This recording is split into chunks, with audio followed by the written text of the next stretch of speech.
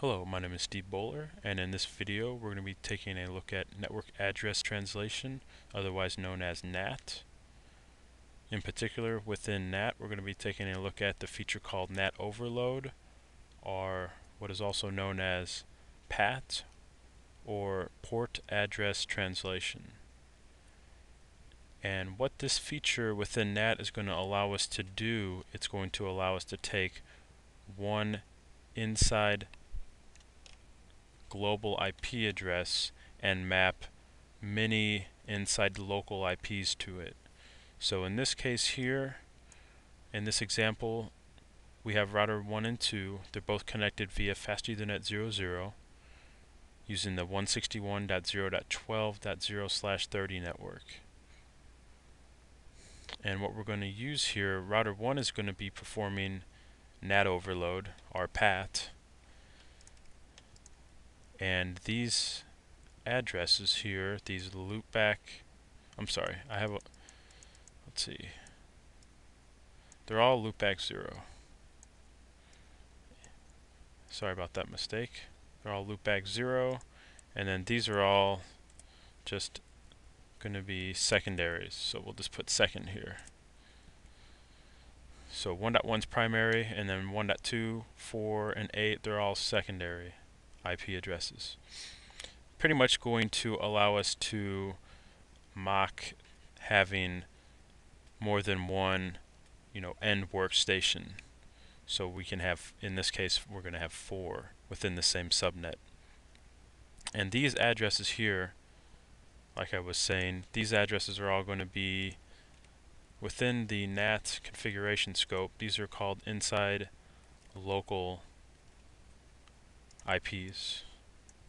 And what we're going to do with NAT overload here in this example is we're going to show you how we can get multiple inside local IPs to map to only one inside global IP address. So in this case, we'll map to router 1's Fast Ethernet 00